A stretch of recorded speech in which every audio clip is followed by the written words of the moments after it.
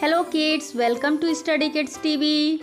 Today in this video we will discuss about sense organs.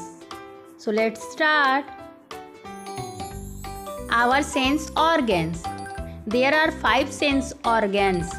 Eyes, ear, nose, tongue and skin are called our sense organs. They help us to feel around us.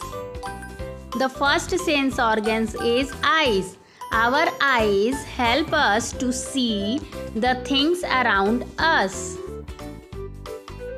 Like watching TV.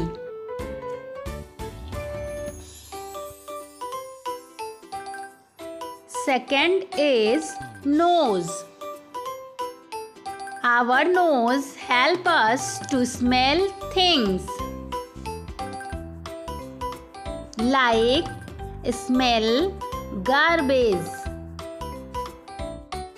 Next, ear. Our ears help us to hear different sounds like listening music and other sounds.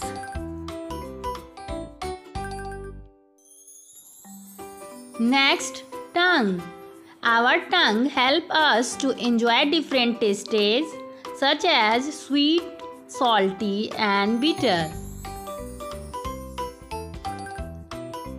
Like we eat different food according to our taste.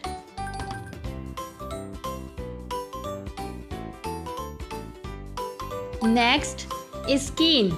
We feel hot, cold, soft and hard with the help of our skin. It covers our whole body. Like feeling cold